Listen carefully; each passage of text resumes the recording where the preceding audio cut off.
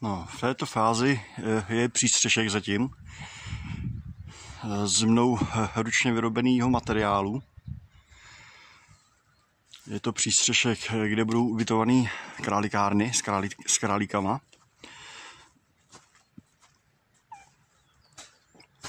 A hoře jsou standardní eternitové desky.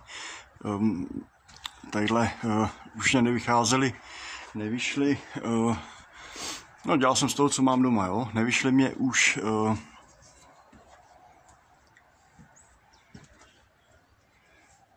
nevyšly mě latě. Hele, denule, vypadil tam tať. Nevyšly mě už latě, takže uh, jak jsem měl ty krajinky, co jsem si připravoval ty trámky, tak z těch krajinek jsem tady udělal zbytek a protože tady mám více jak dvě uh, pulovlny přetažený, tak jsem jich tady vyskládal více. Jo. Takže nakonec jsem využil hnedka ještě v tom, na tom přístřežku nečekaně. Už to má za sebou první déšť. To, co je potřeba ještě udělat, je seříznout střechu. Jo. A přidělat mokap samozřejmě, jo. protože nemám mokap, tak aby se mi tady nějak nedržela voda, tak jsem tady zatím vykopal takovýhle nějakou, nějaký žlábek útokový, jo, abych to tady neměl nějaký rozmáchaný zbytečně. Protože jsem čekal, že bude pršet teď více dnů za sebou, to tak nějak vypadalo. No, takže včera jsem tady vykopnul tohleto. Patky, jo, patky jsou ve vzduchu, je to dobrý. No, samozřejmě, jak pršelo, tak ten spodek je nahozený, byl trošku od bahna, což jakoby není na závadu, jo. Jestliže je ten, to dřevo uh, ve vzduchu, tak, tak je to, no, když to zmokne, tak to zase uschne velmi rychle, jo. To není nějak na závadu, není to ze spoda uzavřený.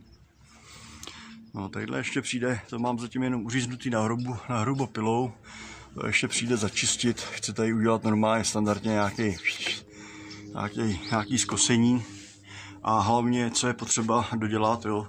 Tady mám komín, tady je plechařina, potřebuju ještě protáhnout plech tadyhle až do okapu. Takže takhle zatím přístřešek. Já jsem spokojený. Jsem spokojený s tím, jak jsem to stvořil. Eh, to, co mě těší nejvíc, jsou výrobní náklady, které jsou v tomto případě nulový. Jo, vemte si, na kolik by vás to dneska přišlo takovýhle trámky. A mně to přišlo jenom trošku, trochu práce a hodně, hodně mi to dalo, hodně jsem se na to naučil.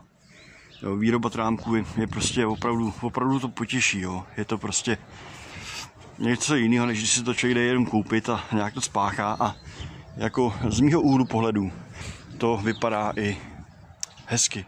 Mnohem hezčí, když, když to jsou sterilní, strojově vyrobené trámky, nemůžu si pomoct. To.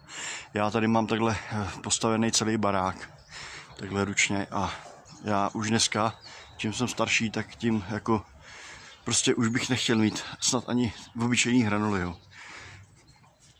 No, tolik zatím k přístřežku. Já teďka tady vymýšlím, uh, kam a jak taky budu instalovat ty králikárny, a, ale o tom zase někdy jindy.